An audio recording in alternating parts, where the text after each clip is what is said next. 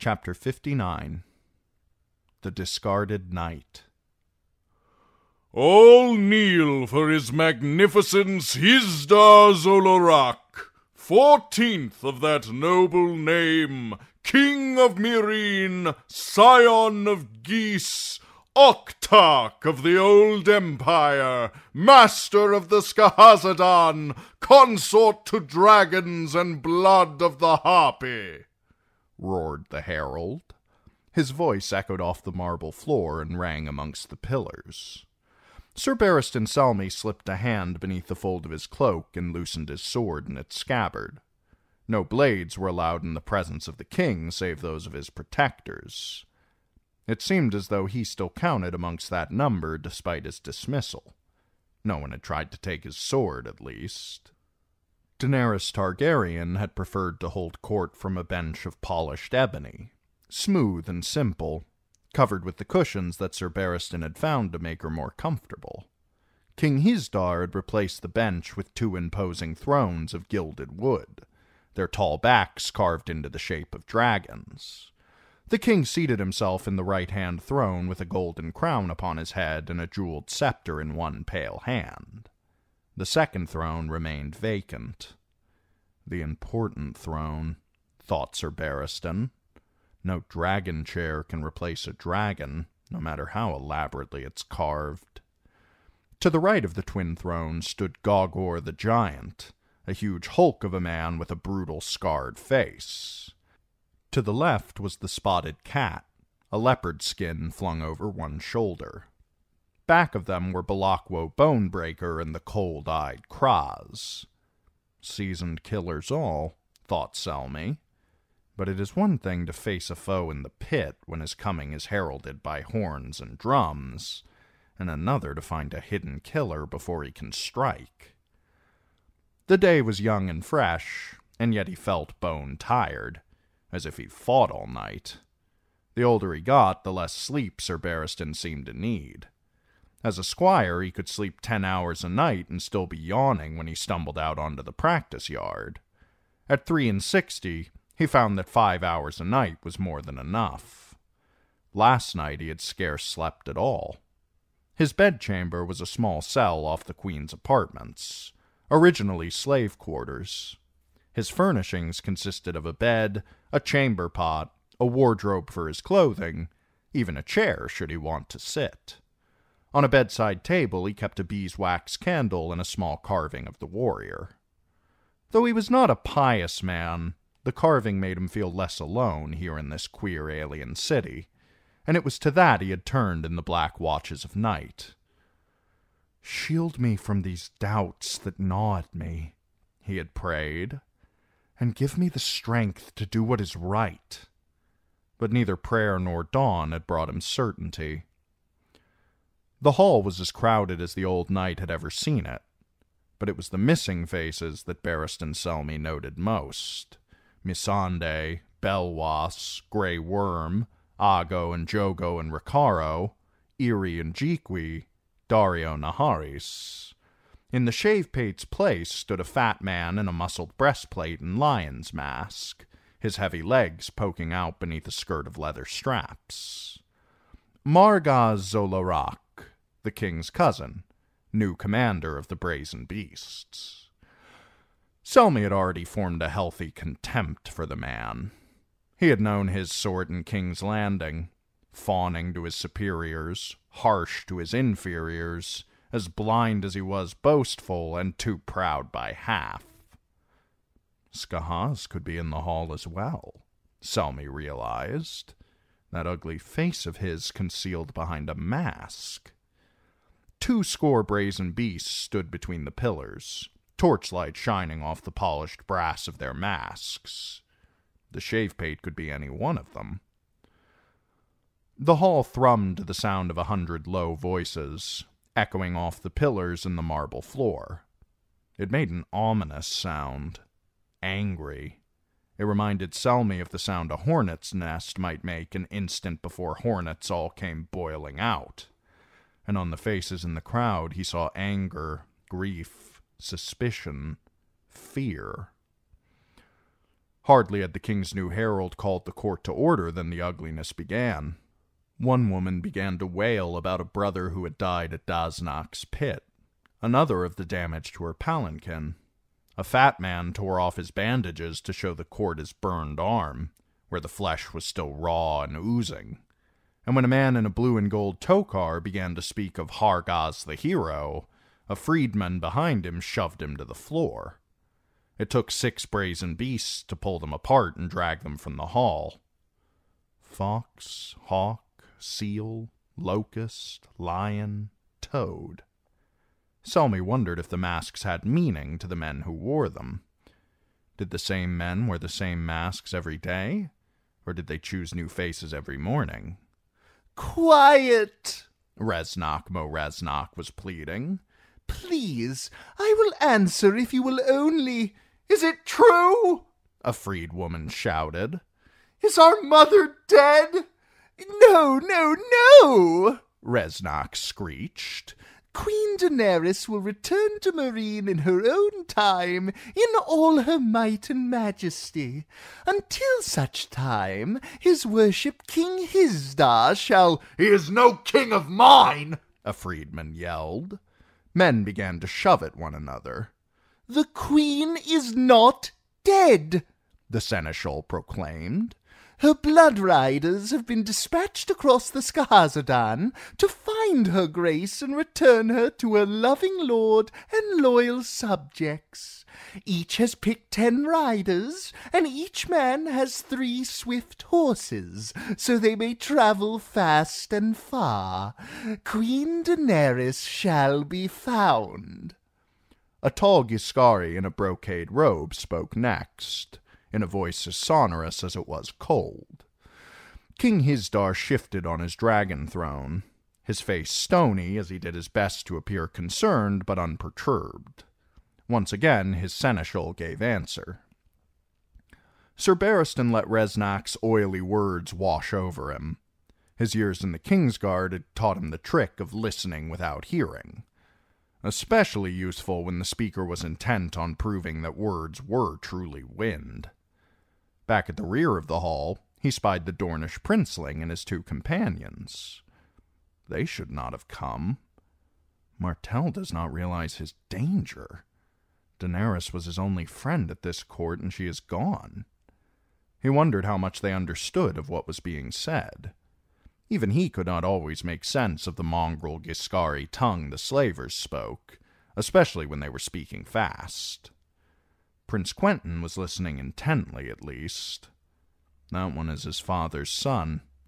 Short and stocky, plain faced, he seemed a decent lad, sober, sensible, dutiful, but not the sort to make a young girl's heart beat faster. And Daenerys Targaryen, whatever else she might be, was still a young girl, as she herself would claim when it pleased her to play the innocent. Like all good queens, she put her people first, else she would never have wed Hizdahr zo Loraq.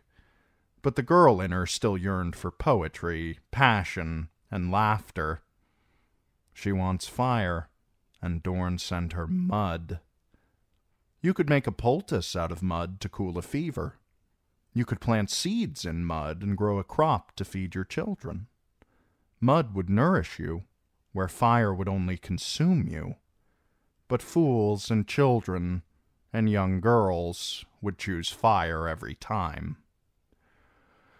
Behind the prince, Sir Gerris Drinkwater was whispering something to Yronwood. Sir Gerris was all his prince was not, tall and lean and comely, with a swordsman's grace and a courtier's wit. Selmy did not doubt that many a Dornish maiden had run her fingers through that sun-streaked hair and kissed that teasing smile off his lips. If this one had been the prince, things might have gone elsewise, he could not help but think. But there was something a bit too pleasant about Drinkwater for his taste. False coin, the old knight thought. He had known such men before. Whatever he was whispering must have been amusing, for his big bald friend gave a sudden snort of laughter, loud enough so that the king himself turned his head toward the Dornishman. When he saw the prince, Hizdahr zo Loraq frowned.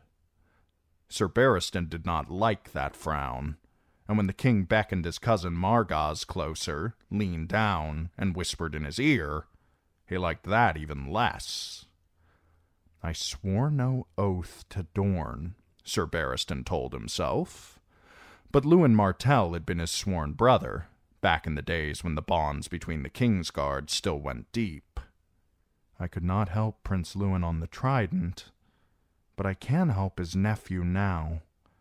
Martell was dancing in a viper's nest, and he did not even see the snakes. His continued presence, even after Daenerys had given herself to another before the eyes of gods and men, would provoke any husband, and Quentyn no longer had the queen to shield him from Hizdahr's wrath. Although. The thought hit him like a slap across the face.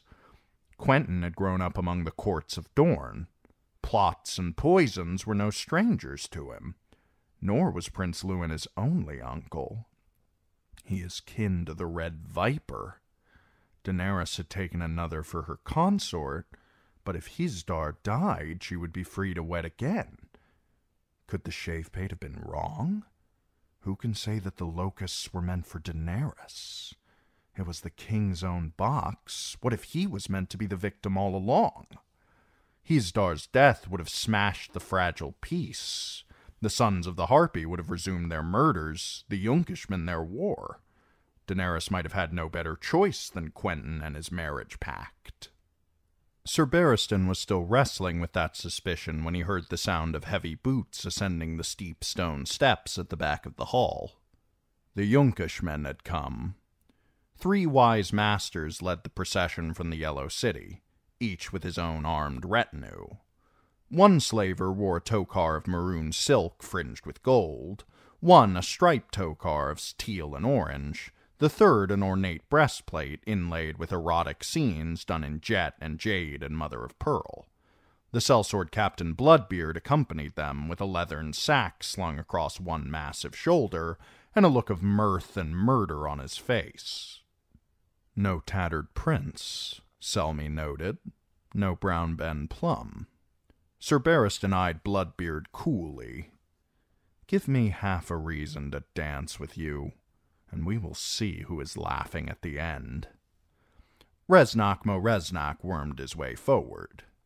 Wise masters, you honor us. His Radiance King Hizdahr bids welcome to his friends from Yunkai. We understand. Understand this. Bloodbeard pulled a severed head from his sack and flung it at the seneschal. Reznak gave a squeak of fright and leapt aside. The head bounced past him, leaving spots of blood on the purple marble floor as it rolled until it fetched up against the foot of King Hizdahr's dragon throne. Up and down the length of the hall, brazen beasts lowered their spears. Goghor the giant lumbered forward to place himself before the king's throne, and the spotted cat and Khrazz moved to either side of him to form a wall. Bloodbeard laughed. He's dead. He won't bite. Gingerly, so gingerly, the seneschal approached the head, lifted it delicately by the hair. Admiral Groleo. Sir Barristan glanced toward the throne. He had served so many kings, he could not help but imagine how they might have reacted to this provocation. Aerys would have flinched away in horror, likely cutting himself on the barbs of the Iron Throne, then shrieked at his swordsmen to cut the Yunkishman to pieces. Robert would have shouted for his hammer to repay Bloodbeard in kind. Even Jaehaerys, reckoned weak by many, would have ordered the arrest of Bloodbeard and the Yunkish slavers. Hizdahr sat frozen, a man transfixed. Reznak set the head on a satin pillow at the king's feet, then scampered away his mouth twisted up in a moue of distaste. Sir Barristan could smell the seneschal's heavy floral perfume from several yards away. The dead man stared up reproachfully. His beard was brown with caked blood, but a trickle of red still leaked from his neck. From the look of him, It had taken more than one blow to part his head from his body. In the back of the hall, petitioners began to slip away. One of the brazen beasts ripped off his brass hawk's mask and began to spew up his breakfast. Barristan Selmy was no stranger to severed heads. This one, though, he had crossed half the world with the old seafarer, from Pentos to Qarth and back again to Astapor. Groleo was a good man. He did not deserve this end. All he ever wanted was to go home. The knight tensed, waiting. This, King Hizdahr said at last, this is not. We are not pleased. This. What is the meaning of this. this. The slaver in the maroon tokar produced a parchment. I have the honor to bear this message from the Council of Masters. He unrolled the scroll. It is here written Seven entered Meereen to sign the peace accords and witness the celebratory games at the pit of Daznak. As surety for their safety, seven hostages were tendered us. The Yellow City mourns its noble son, Yorkaz Oyunzak, who perished cruelly whilst a guest of Meereen. Blood must pay for blood. Groleo had a wife back in Pentos. Children. Grandchildren. Why him, of all the hostages? Jhogo, Hero, and Daario Naharis all commanded fighting men, but Groleo had been an admiral without a fleet. Did they draw straws? Or did they think Groleo the least valuable to us, the least likely to provoke reprisal? The knight asked himself. But it was easier to pose that question than to answer it. I have no skill at unraveling such knots. Your Grace, Sir Barristan called out, if it please you to recall, the noble Yurkhaz died by happenstance. He stumbled on the steps as he tried to flee the dragon, and was crushed beneath the feet of his own slaves and companions. That or his heart burst in terror. He was old. Who is this who speaks without the king's leave? asked the Yunkish lord in the striped tokar, a small man with a receding chin and teeth too big for his mouth. He reminded Selmy of a rabbit. Must the lords of Yunkai attend to the natterings of gods? He shook the pearls that fringed his tokar. Hizdahr zo Loraq could not seem to look away from the head. Only when Reznak whispered something in his ear did he finally bestir himself. Yurkhaz Yunzak was your supreme commander, he said. Which of you speaks for Yunkai now? All of us, said the rabbit. The Council of Masters. King Hizdahr found some steel. Then all of you bear the responsibility for this breach of our peace. The Yunkishman in the breastplate gave answer. Our peace has not been breached. Blood pays for blood, a life for a life.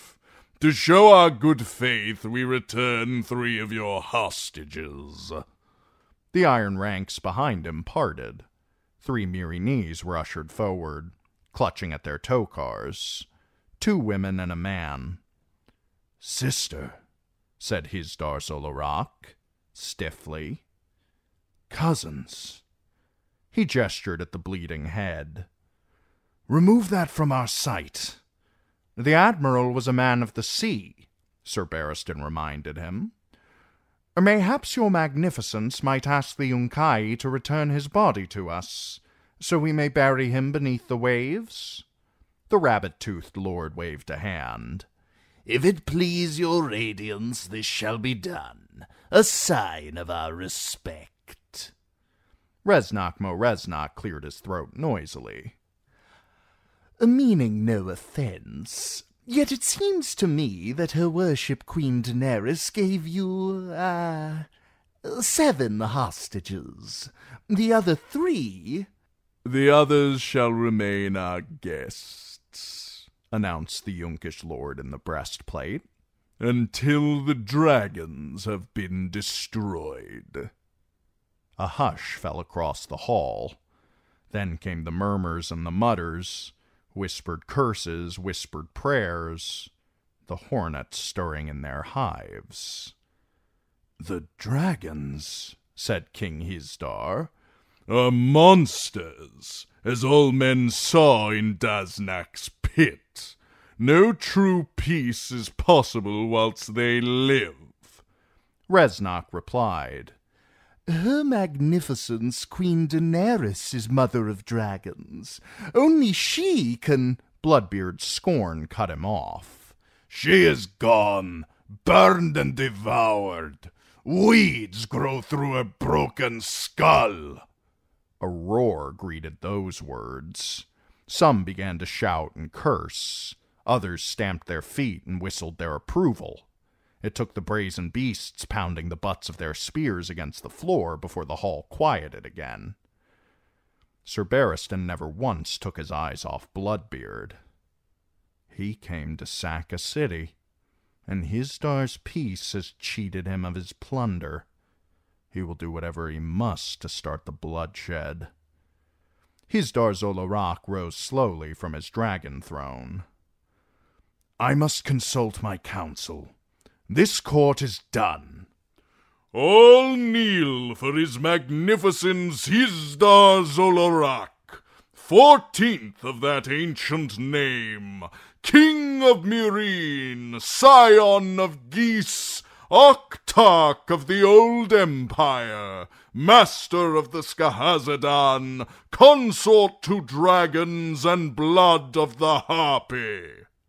The herald shouted brazen beasts swung out amongst the pillars to form a line, then began a slow advance in lockstep, ushering the petitioners from the hall.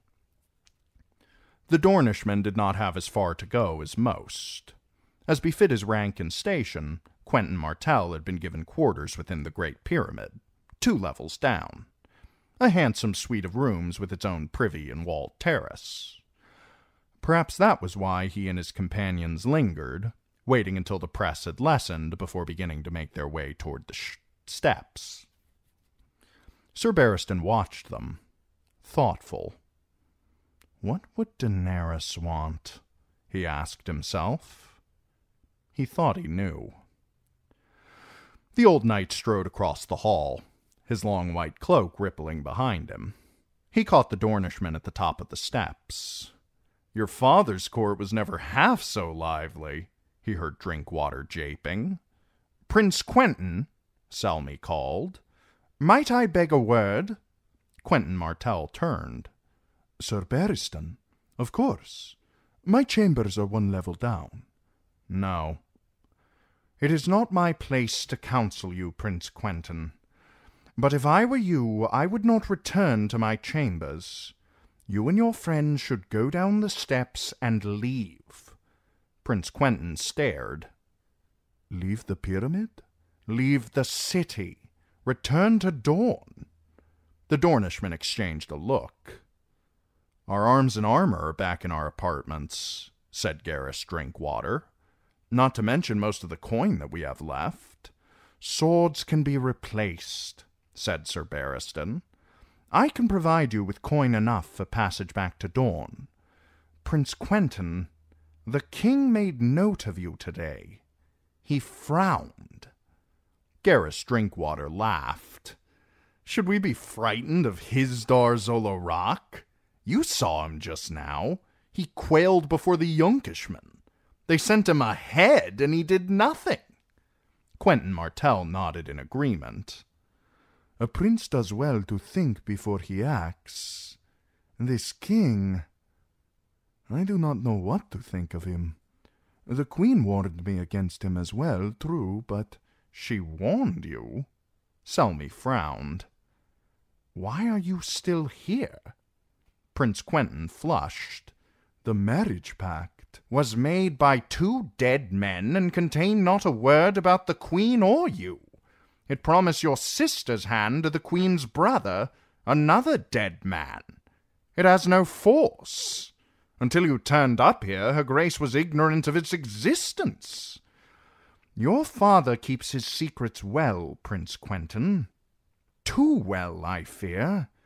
If the Queen had known of this pact in Qarth, she might never have turned aside for Slaver's Bay. But you came too late. I have no wish to salt your wounds, but her grace has a new husband and an old paramour, and seems to prefer the both of them to you. Anger flashed in the prince's dark eyes. This Ghiscari lordling is no fit consort for the Queen of the Seven Kingdoms. That is not for you to judge. Sir Barristan paused, wondering if he had said too much already. No. Tell him the rest of it. That day at Daznak's pit, some of the food in the royal box was poisoned. It was only chance that strong Belwas ate it all. The Blue Graces say that only his size and freakish strength have saved him, but it was a near thing. He may yet die. The shock was plain on Prince Quentyn's face. Poison? Meant for Daenerys? Her or Hizdahr? Perhaps both. The box was his, though. His Grace made all the arrangements. If the poison was his doing, well, he will need a scapegoat. Who better than a rival from a distant land who has no friends at this court? Who better than a suitor the queen spurned? Quentyn Martell went pale. Me? I would never. You cannot think I had any part in any. That was the truth. Or he is a master mummer. Others might, said Sir Barristan. The Red Viper was your uncle and you have good reason to want King Hizdahr dead. So do others, suggested Gerris Drinkwater. Naharis, for one. The Queen's paramour, Sir Barristan finished, before the Dornish knight could say anything to besmirch the Queen's honor. That is what you call them down in Dorne, is it not? He did not wait for a reply. Prince Lewyn was my sworn brother. In those days there were few secrets amongst the Kingsguard. I know he kept a paramour. He did not feel there was any shame in that. No, said Quentyn, red-faced. But Daario would kill Hizdahr in a heartbeat if he dared, Sir Barristan went on. But not with poison. Never. And Daario was not there in any case. Hizdahr would be pleased to blame him for the locusts, all the same. But the king may yet have need of the storm crows, and he will lose them if he appears complicit in the death of their captain. No, my prince, if his grace needs a poisoner, he will look to you. He had said all that he could safely say. In a few more days, if the gods smiled on them, Hizdahr zo Loraq would no longer rule Meereen. But no good would be served by having Prince Quentyn caught up in the bloodbath that was coming. If you must remain in Meereen, you would do well to stay away from court and hope Hizdahr forgets you, Sir Barristan finished. But a ship for Volantis would be wiser, my prince. Whatever course you choose, I wish you well. Before he had gone three steps, Quentyn Martell called out to him, Barristan the Bold, they call you. Some do. Selmy had won that name when he was ten years old, a new-made squire, yet so vain and proud and foolish that he got it in his head that he could joust with tried and proven knights. So he'd borrowed a war horse and some plate from Lord Dondarrion's armory and entered the lists at Blackhaven as a mystery knight. Even the herald laughed. My arms were so thin that when I lowered my lance it was all I could do to keep the point from furrowing the ground. Lord Dondarrion would have been within his rights to pull him off the horse and spank him, but the Prince of Dragonflies had taken pity on the addle-pated boy in the ill-fitting armor and accorded him the respect of taking up his challenge. One course was all that it required. Afterward, Prince Duncan helped him to his feet and removed his helm. A boy, he had proclaimed to the crowd. A bold boy! Fifty-three years ago. How many men are still alive who were there at Blackhaven? What name do you think they will give me, should I return to Dorne without Daenerys? Prince Quentyn asked. Quentyn the Cautious? Quentyn the Craven? Quentyn the Quail? The prince who came too late, the old knight thought. But if a knight of the Kingsguard learns nothing else, he learns to guard his tongue. Quentyn the Wise, he suggested, and hoped that it was true.